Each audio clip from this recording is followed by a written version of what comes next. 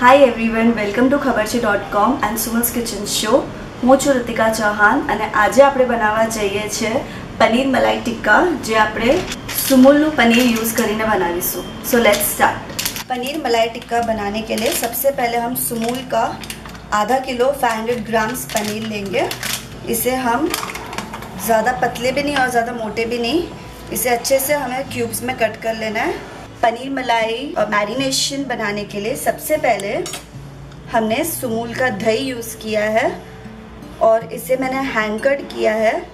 आप भी उसे रात भर एक कॉटन के कपड़े में या मसलिन कपड़े में बाँध के रखें और इसे सारा पानी निकाल दें।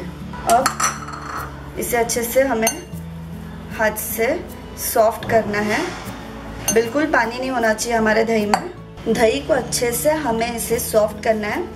मैंने 500 ग्राम सुमूल दही लिया है और आप इसका पानी निकाल दोगे तो ये आराम से 200 ग्राम्स तक होगा हंकर्ड अब इसमें हम दो से ढाई चम्मच काजू पेस्ट डालेंगे, जो मैंने काजू को दो से तीन घंटे पहले गर्म पानी में भिगो रखा था और अब इसे बहुत कम पानी में इसका पेस्ट बनाया।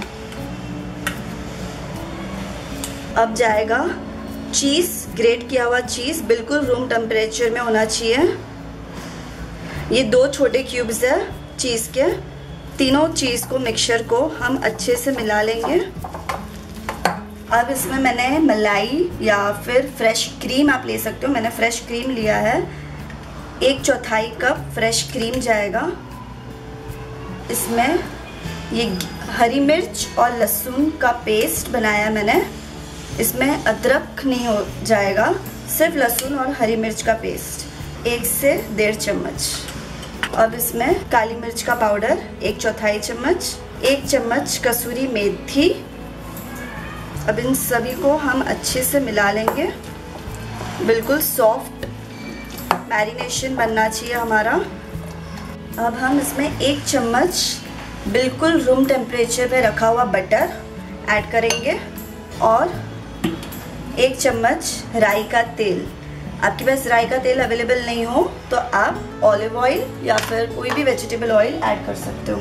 इसे अच्छे से मिक्स करना है। सारे लम्ब्स निकाल देना है और सॉफ्ट मैरिनेशन तैयार करना है। हम इसमें स्वाद अनुसार नमक डालेंगे। कुछ बारीक कटी हुई हरा धनिया डालेंगे, बारीक कटा हुआ। और इसे अच्छे से मिलाएँगे। मैरिनेशन हमारा रेडी है। मैंने दो छोटे प्याज इस तरह काट लिए हैं और एक बड़ा शिमला मिर्च इस तरह काट के रेडी है। अब हम हमारे पनीर के क्यूब्स हमारे मैरिनेशंस में ऐड करते हैं। हम अभी हमारे वेजिटेबल्स ऐड नहीं करेंगे, सिर्फ़ पनीर को अच्छे से मैरिनेट करेंगे। और 30 मिनट्स इसे अच्छे से मैरिनेट करने रख लेंगे। हमने अच्छे से हमारे पनीर को मैरिनेट कर लिया है। अब हमारे बचे हुए मैरिनेशन में हम अपने वेजिटेबल्स ऐड करेंगे, प्याज और शिमला मिर्च। और इसे अच्छे से मिला लेंगे। मिनिमम 30 मिनट या हो, आपके पास टाइम हो तो दो से तीन घंटे हम इसे फ्रिज में रख लेंगे। अब हमारा पनीर और वेजिटेबल अच्छे से मैरिनेट हो चुका है। अब मैंने ये दो टिक्का स्टिक्स लिए हैं। अब हम इसे एक एक करके हमारे पनीर पहले पनीर क्यूब्स कोट किया हुआ अनियन प्याज, शिमला मिर्च, फिर से हमारा पनीर। और इस तरह हम अपने पनीर और टिक्का को स्टिक में डाल आपके पास अगर स्टिक नहीं हो तो आप डायरेक्टली पैन में भी कर सकते हो। टिक्का जब तक हमारा मैरिनेट हो रहा है, हम स्पेशल टिक्का चटनी बना लेंगे। उसके लिए मैंने आधा कप पुदीना और आधा कप धनिया धो करके मिक्सर में डाल रही हूँ। दो हरी मिर्च, तीन लहसुन, एक से ढाई बड़ा चम्मच सुमूल दही। अब इसमें हम नमक स्वाद अनुसार डालेंगे। और एक चौथाई चम्मच चीनी शक्कर। अब इन सबको हम अच्छे से पीस लेंगे। सो so, हमारी पनीर टिक्का स्पेशल चटनी जो दही से बनती है वो तैयार है।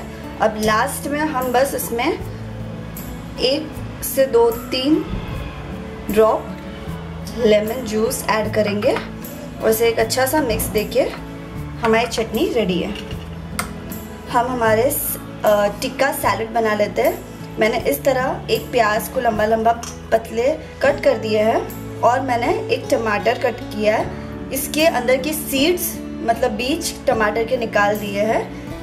अब इसको अच्छे से मिला लेंगे और अब इसमें हम आधी चम्मच लाल मिर्च पाउडर डालेंगे, आधी छोटी चम्मच चाट मसाला, कुछ कसूरी मेथी ये धनिया और पुदीना कटा हुआ ऐड करेंगे।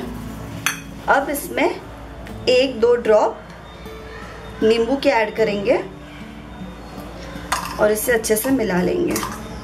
ये टिक्का सैलड हमारा रेडी है। अब हम टिक्का अच्छे से बाबिक्यू या ग्रिल या पैन में फ्राई करते हैं। पैन में सबसे पहले आधा चम्मच बटर ऐड करेंगे।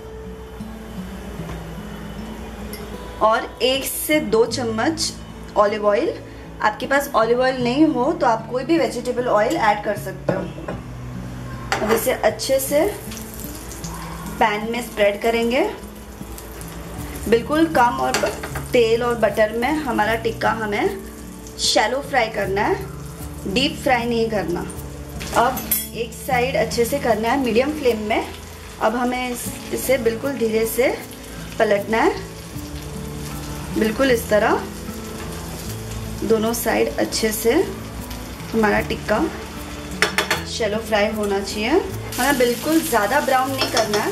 अब इसे मैं पहले प्लेट में निकाल दूँगी। एक एक करके। गैस की फ्लेम मीडियम रखेंगे। और हमारा टिक्का ऐसे पकड़ के बिल्कुल इसको चाकुल बाबिक्यू का टेस्ट देना है।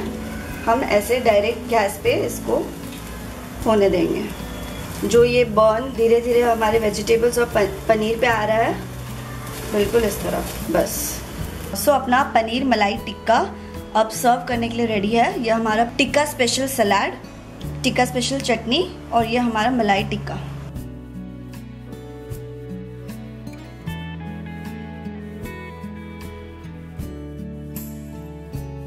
દર્શક મિત્રો, સુમૂલના પનીરથી બનેલું પનીર મલાઈ ટિક્કા રેડી છે. આપણે ફરીથી મળીશું નવી રેસિપી સાથે ખબર છે ડોટ કોમ પર સુમુલ્સ કિચન શોમાં થેન્ક યુ